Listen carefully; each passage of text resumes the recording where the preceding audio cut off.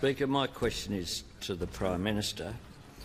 Can the Prime Minister confirm that after Senator McKenzie wrote to him about sports rorts on the 10th of April, the day before the election was called, his office requested changes to the list determining which projects were funded and which projects missed out?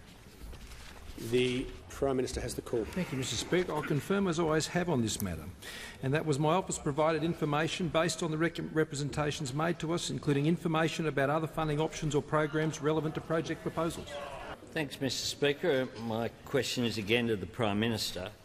How can the Prime Minister claim he simply passed on information on the corrupt sports rort scheme when the Audit Office told Parliament last night the list of sports rorts projects was changed after the election was called, and I quote the Audit Office here, quote them, at the request of the Prime Minister's office. Members on my left, the Prime Minister has the call.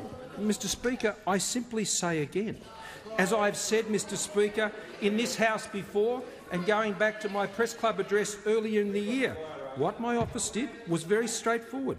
They passed on information based on the representations made to us, and that included information about other funding options or programs relevant to project proposals. Mr Speaker, that statement is completely consistent with all, the, all of the matters that have come before this, this House and in other places.